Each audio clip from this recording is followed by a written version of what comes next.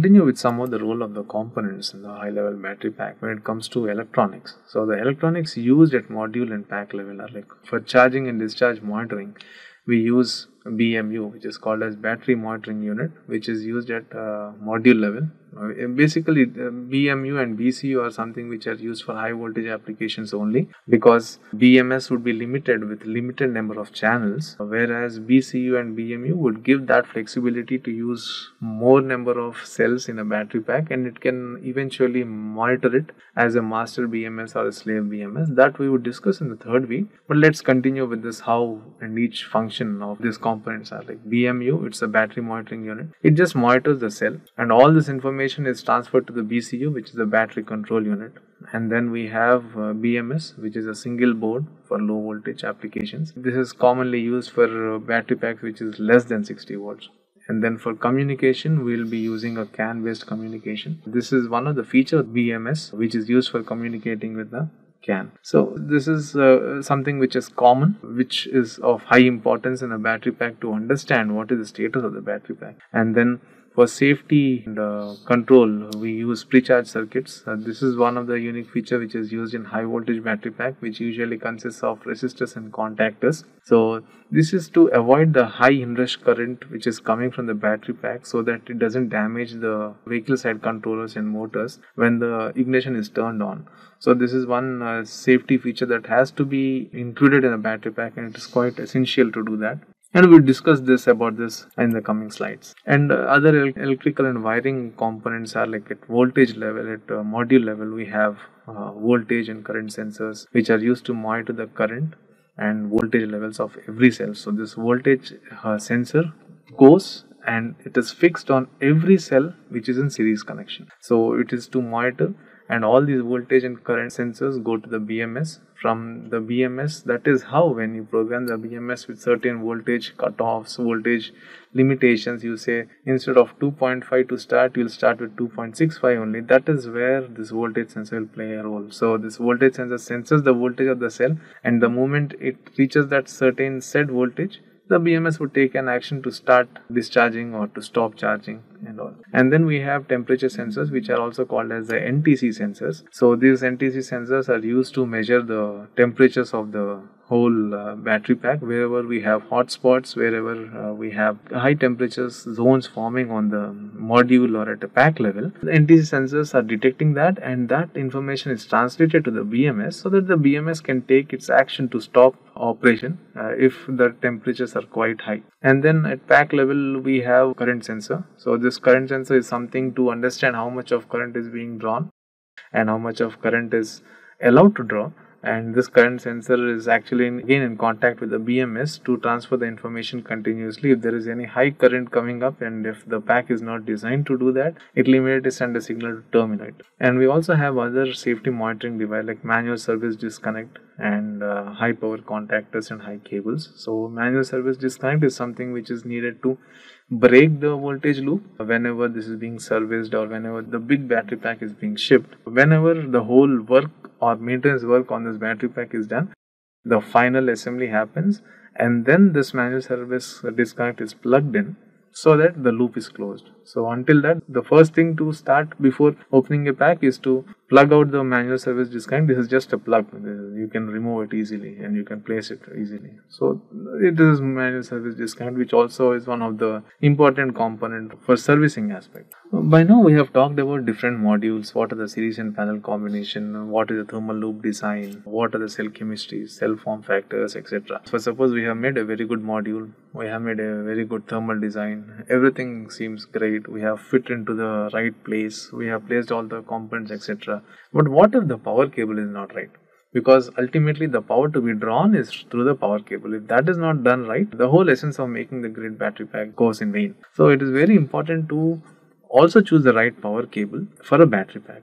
So now here we will understand why we need to choose the right power cable. So since the power cable would be the final medium through which the power is delivered, the power cable has to be selected that it can deliver 1C or 2C or 3C or any current that the pack has to be delivered for the designated time. Like for example, if the pack is designed or if the cell is chosen to deliver 5C for 30 seconds, the power cable should also be able to deliver that without overheating or without melting or without leading to fire. So that is something which has to be done. So usually these power cables can be copper or aluminum. They also can be evaluated like using the Ohm's law, which is V is equal to IR. Uh, so when we select a wire uh, or the area of the wire, the diameter of the wire, we should be also considering the resistance of the wire so that it has lower resistance. Higher resistance will always lead to increase in the temperature and also it should be taken care that the length of the wire should be such that there is no significant voltage drop because uh, being a high voltage system where the dimensions are 1 meter or more than 1.5 meters, you have long wires running around and that kind of wire should not be leading to voltage drops. So this selection of wire and power cables and all has been a great tradition till now and, and uh, there are a lot of uh, information that you could find on internet as well regarding the right wire for the right current rating which you would require. So which is designated as awg which is called as american wire gauge. By using this standard you can choose the right diameter of the wire uh, which it would be able to carrying the right capacity. And also there is a table in the next slide which will give you information on the insulated wires information for different temperature like 45 degrees 60 degrees and 90 degrees which will help you in identifying the right wire for the right uh, power delivery so here is that we have American wire gauge chart over here where uh, it starts from wire gauge 4 by 0 or 4 zeros. It goes up to 30 uh, AWG. If you observe over here, you could see that the wire gauge, uh, the first one 000 0, 0, 4 zeros, has a, a diameter of 11.6 mm whereas a wire gauge of 30 has 0.28 which means the lower the wire gauge the diameter of the wire gauge increases. And uh, and also if you could see the resistance per unit length which is leading to the voltage drop you can calculate it over here. This requires a little bit of understanding on electronic resistivity electrical resistance and also the area diameter used. I would leave that small exercise for you to do that. But over here if you see the resistance per unit length also increases as your diameter of the wire reduces. That is where you see you need to have a very good area for conducting or transmitting a good amount of current through these wires. So if you have a wire of 4 by O which is at 60 degrees centigrade rating it can deliver a amp of 195 Similarly, if you have it at 75 degrees, it can deliver at ampacity of 230 and at 90 degrees, it can deliver at uh, 260 ampacity. So that means you need to have a wire which is having a suitable insulation material which can resist 90 degrees. It can deliver up to 260 amperes. If you don't have a sufficient insulation material for the wire then it can fall. You need to choose the right insulation material for your wire so that it can deliver as much as current as possible. That if your temperatures are high if you're operating that means uh, for example if you're continuously constantly delivering 2c 3c current which means your uh, copper wires always high and if you're 75 degrees temperature and you have insulation of 60 degrees it will not deliver 230 it will deliver 195 because it will have its own limitations. It will not be able to conduct out heat properly. It will probably melt slowly and it can catch fire as well.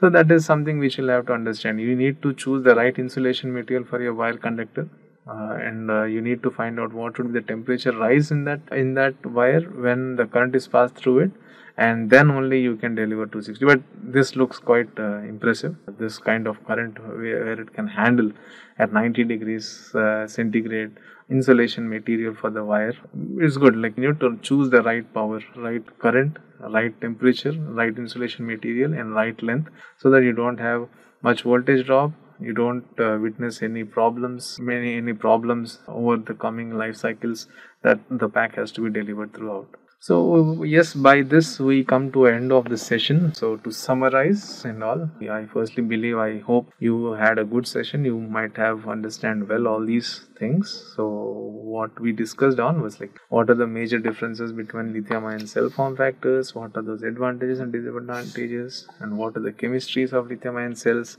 how these cells are converted to modules and then to packs, what are the differences between the module and pack conversion with respect to cell form factors, what are the important considerations that has to be considered when we select a cell for specific application. What are the different BOM parts, uh, you know, module design, and what significance it plays, and what are the series and parallel combinations in the module, and how do we connect these cells in series and parallel combination? What are those things that needs to be addressed when we connect those modules in pack etc and we also we understand like how cooling plates are to be derived at etc so in short this is how this session would be. I hope this would be very useful to you. These are some of the image credits uh, thanks to all these uh, oems who have helped us so that we could get a better explanation on all the things which we have